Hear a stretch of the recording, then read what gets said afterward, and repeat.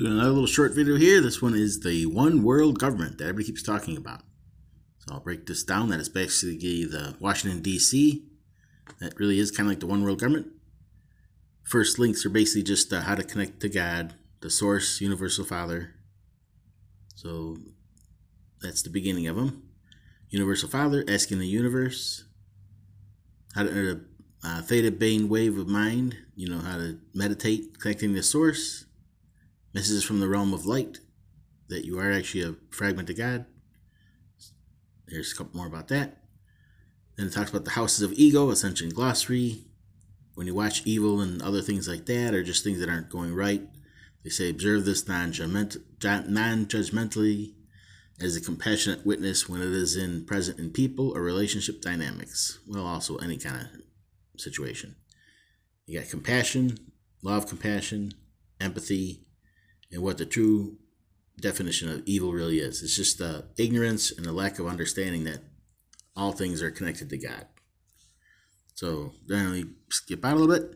The U.S. government, the one world government.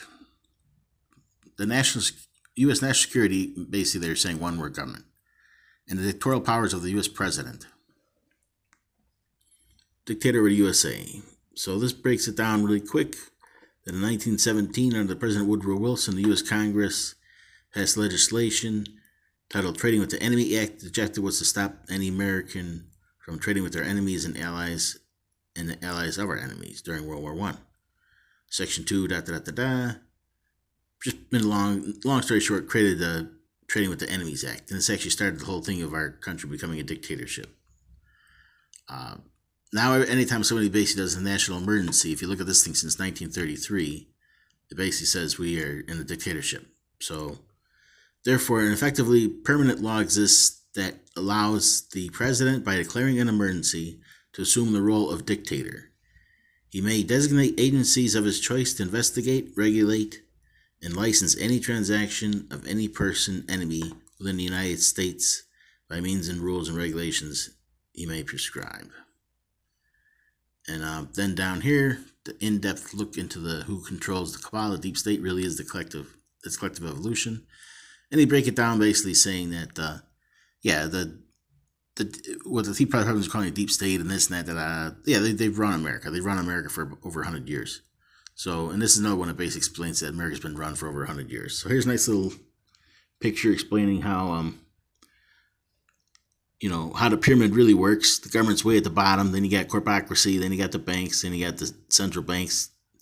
Then the international banks, and then the Bank of International Settlement. So basically, money runs the whole situation. So, and then down here, this guy has a good thing to thrive. The movie. Here's a little clip. Thrive following the money upstream. That I want. That one matches this one right here. It's a quick, short little video. Here's the whole movie to watch. That's fantastic. Who controls the money controls the world. 25 quotes, quotes from Henry Kissinger basically admitting that uh, America is the one world government. Confessions of uh, Smedley Butler basically saying all war is a, a racket to make profit for Wall Street. Uh, here's David Icke talking about how Trump's a puppet, and everybody, every president's a puppet. Uh, Trading with the Enemy Act, this one's really good, explains the whole truth about that law, how we're basically a dictatorship, and we actually are all enemies of the United States. We are the enemies of the state. So I'll show that again real quick here. This is a little PDF that has little links. Bankruptcy, uh, 1933, state of emergency, national emergency in the USA, some more. And uh, then you got the National Emergency Act. So that's a uh, this explains uh,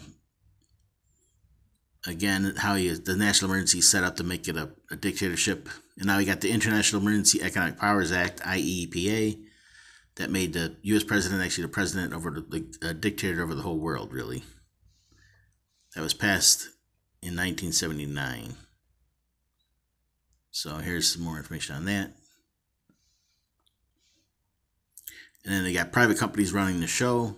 Most of what people think are government's actually just private corporations. I'll jump to that again real quick. You just go to Bloomberg, like the United States Department of Treasury, United States Mission of the United Nations, United States United Nations is a private company, North Atlantic Treaty Organization, Office of Financial Assets, they're all pretty private companies. Here's more executive orders by the Treasury. That's how we start people to death and everything with the one world government.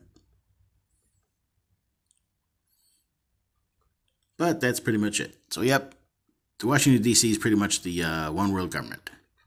So, I have the links and some books maybe from Amazon or something.